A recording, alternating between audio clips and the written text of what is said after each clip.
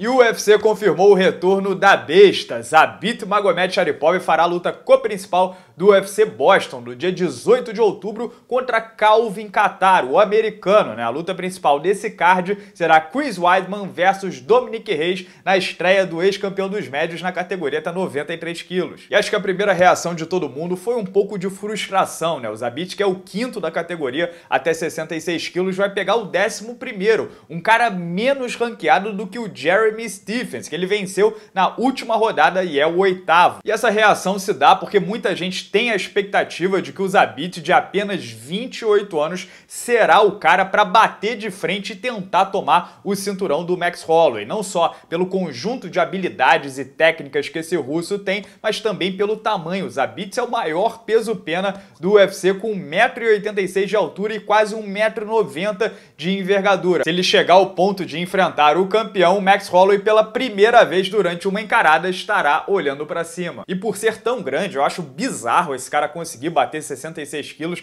e mais bizarro ainda é que no dia seguinte da pesagem ele tá novinho em folha, não perde força, não perde gás, potência, não fica exaurido. Também por ser tão criativo e tecnicamente dominante, a curiosidade no entorno dele é muito aguçada e a frequência dele no UFC é relativamente baixa. Ele não consegue fazer mais de duas lutas por ano desde que assinou o contrato com a organização americana. Mas o que eu escuto dos bastidores é que é muito complicado de achar uma luta para ele, porque os adversários simplesmente não topam. Zabit é o lutador mais rejeitado dessa categoria então, entre ele ficar parado esperando e nada acontecer, vendo o tempo passar, e topar alguém que está ali mais ou menos na vizinhança e aceite assinar o contrato, vai Calvin Qatar mesmo. Vale lembrar que desde que ele bateu o Stephens em março, muitos boatos com seu nome rolaram por aí. O primeiro deles é que ele enfrentaria o Brian Ortega, ex-desafiante número 1 um da categoria, no UFC 240, o mesmo que teve Max Holloway versus Frank Edgar, né?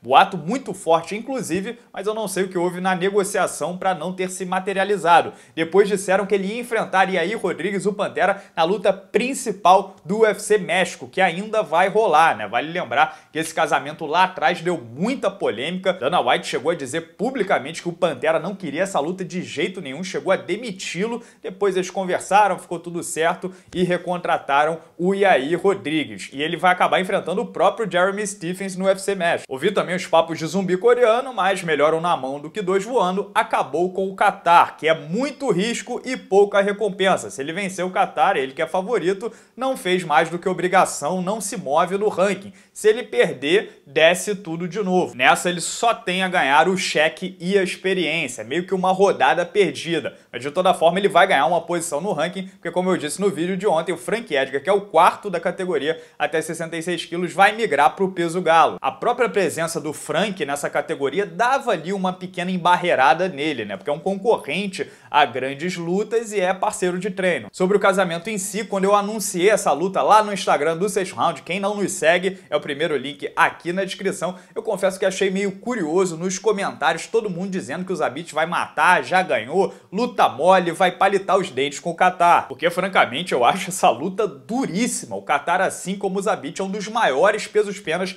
da categoria, junto com o Renato Moicano e o próprio Max Holloway. Ele tem mais de 1,80m, é jovem também, 31 anos, é de Boston, vai lutar em casa, tem o background no wrestling, queda muito bem e é muito bom com as mãos. Tem punch, soca em linha, é um lutador encarniçado. Nocauteou Ricardo Lamas, ex-desafiante número 1 um dessa categoria, no primeiro round na última rodada. O Qatar é 23 no MMA, 20 vitórias e 3 derrotas, e a sua única derrota nos últimos 9 anos em 13 lutas foi para o brasileiro Renato Moicano por decisão. Ou seja, não acho que essa panaceia toda. Eu sou fã do Zabit, acredito no potencial dele, acho que no papel é o pior casamento para o Max Holloway, mas ele só está chegando agora na elite da categoria. E o único top 10 duro que ele pegou, o Jeremy Stephens, que não é um candidato a campeão do mundo, é apenas um porteiro duro, foi a luta mais complicada para ele. Ele passou raspando. Então acho que vale sim diminuir um pouquinho o oba-oba, porque daqui para frente o caldo engrossa e as margens serão cada vez menores. Enfim, lutão e se o Zabit passar por mais essa, espero que os três ou quatro